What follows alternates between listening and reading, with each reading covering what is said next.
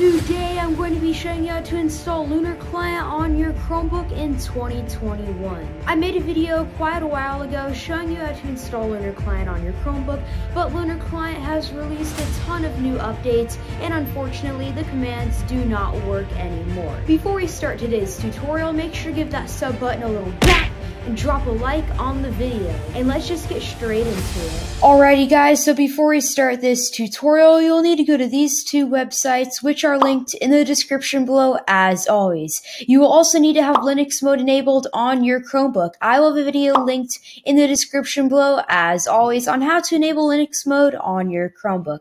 So, once you've gone to these two websites and have Linux mode enabled on your Chromebook, the first website you want to go to is the Lunar Client website. Then what you want to do is scroll down and then go to Linux right here, and then click download. A file will start downloading in the bottom right hand corner of your screen. Once it's done downloading, click show in folder. After that, what you want to do is drag Lunar Client into your Linux files. Once it's done copying into your Linux files, you can close the Files app, and then what you want to do is go to the Google Doc, like I just said, linked in the description below. Then what you want to do is hit the menu key, go to the search bar, type terminal, then hit enter. After that, you want to do the number one command, highlight it, right click, click copy, go back to the terminal, right click, then hit enter. Type Y on your keyboard, then hit enter. Then what you want to do is do the second command, highlight it, right click, click copy, go back to the terminal, right click, then hit enter. Then what you want to do is the number three command. Again, highlight it, right click, click copy, go back to the terminal, right click, then hit enter. Lunar Client will launch up on your Chromebook, but you may notice there is no desktop application for you to click on to launch Lunar Client, which is super dumb. So I'm going to show you how to create a desktop shortcut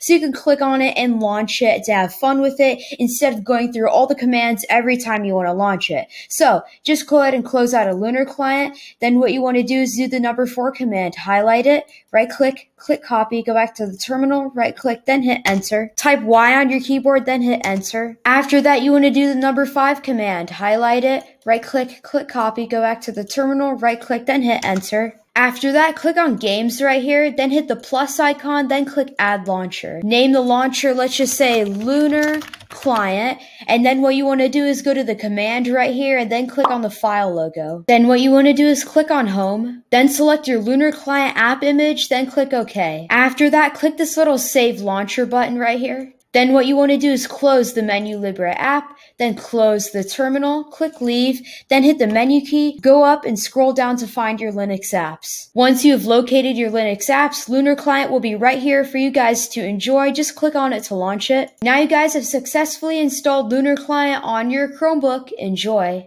Thank you all for watching. Here are all the shoutouts for today's video. And if you want to be featured in one of my videos, just comment down below I subscribed. And yeah, guys, I'll see you all next time. Bye.